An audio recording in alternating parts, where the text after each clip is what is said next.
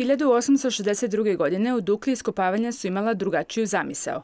Nakon rata tražene su kosti mrtvih, a priroda je objelodanila nešto sasvim drugo. Pronađena je podgorička čaša. Miloš Živanović, arheolog, kaže da je pravim turbulentnim previrenjima ovaj predmet završio u Ruskom muzeju Ermitažu u Sankt Petersburgu. Na osnovi nekih temeljnih studija koje su napravljene, E, smatramo da je ona otkrivena u Duklji, i to baš u zapadnoj nekropoli ovaj, Duklje, na jednom lokalitetu koji se zove Bjelovine, i da je to godina 1862. godina. Tada se desio e, Tu su desili manji sukobi između Tursko-Crnogorskom ratu i najvjerovatnije u tom prilikom kada e, je kopan jedan grob za poginulog u toj bici, je slučajno otkriven rimski grob. I prepostavljamo da je baš tada nađena politička čaša. Procinom arheologa ova čaša datira iz druge polovine četvrtog vijeka ili sa početka petog i vezana je za period rimskog staklarstva.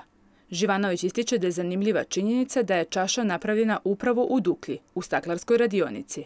Čaša je upravo zbog terminologije koja je drugačije prevedena sa francuskom jezika. Ona je moguće da je korišćena kao čaša za piće, ali ona nema oblik e, ovaj, čaša, ona je zapravo i nas dijela.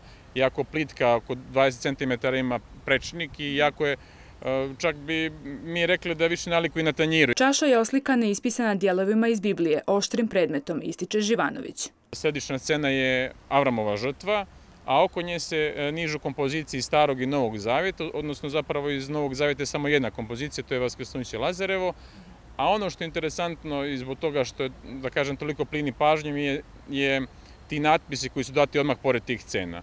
Oni su puni grešaka, i pravopisnih, ali i e, teoloških. Znači, taj graver teško da je bio hrišćanin, a ako je bio, onda nije imao toliko saznanja o hrišćanskoj misli. Iako otkrivena u Dukli, čaša je prešla značajan put od Skadra preko Sarajeva, Pariza do Sankt Petersburga. Tamo je u muzeju Ermitažu i nalazi se pod rednim brojem 73.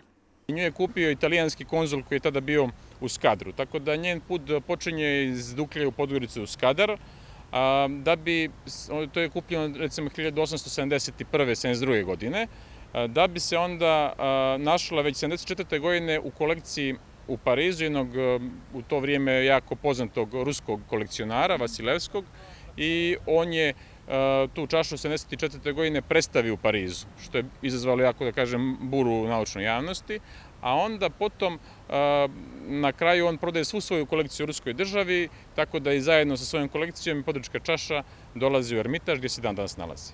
Vodi se polemika da li čaša treba da se vrati ili da ostane tamo gdje jeste.